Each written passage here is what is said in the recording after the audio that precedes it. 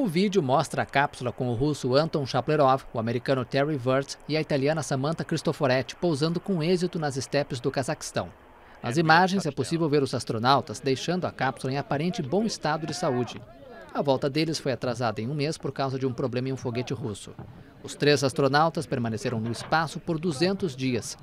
A próxima missão rumo à Estação Espacial Internacional deixa a Terra entre 23 e 25 de julho, levando representantes da Rússia, Japão e Estados Unidos.